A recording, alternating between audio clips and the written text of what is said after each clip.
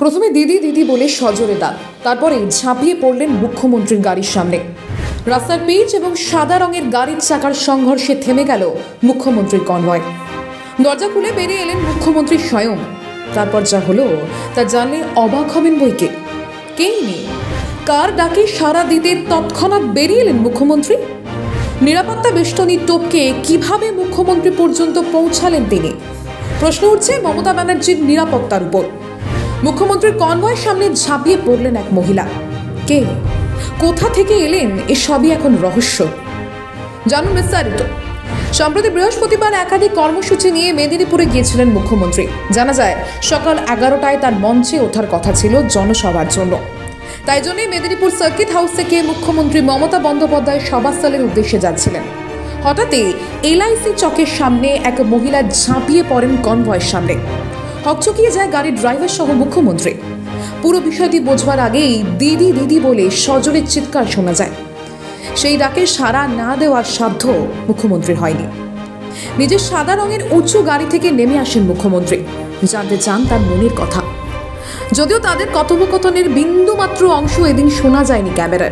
তবে রাজ্যের মুখ্যমন্ত্রীকে সামনে পেয়ে এই মহিলা যে নিজের দুঃখের কথা বলতেই দিদি শরণাপন্ন হয়েছিলেন, তা বলাই বাহুল্য।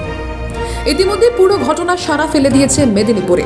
অনেকেই বলছেন, দুঃখের কথা দিদিকে বলবেন না তো কাকে বলবে?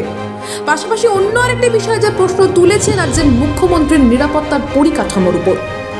এ বিষয়ে জানা গিয়েছে, এদিন মুখ্যমন্ত্রীর কর্মসূচি থাকার দরুন মেদিনীপুরের রিং রোড ঢেকে ফেলা হয় নিরাপত্তায়। প্রতি চেকপোস্টে উচ্চ আধিকারিক মজুদ ছিলেন মুখ্যমন্ত্রীকে সুরক্ষা প্রদান করবার জন্য। তবে তা সত্ত্বেও কি করে এই মহিলা কনভয়ের সামনে চলে এলো, তা নিয়ে যথেষ্ট প্রশ্ন থেকে যাচ্ছে।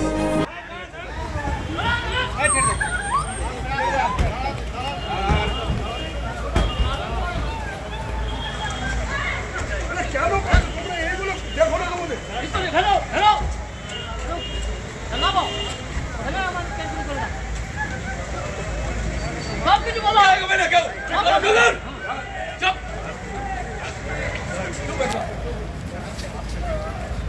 একদম চুপ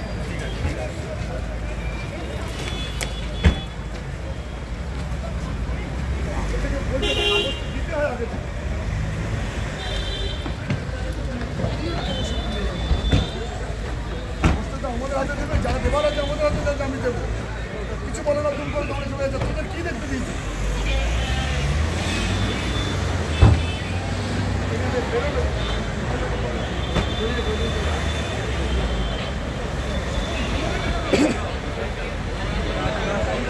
ঠিক আছে ঠিক আছে এটা ঠিক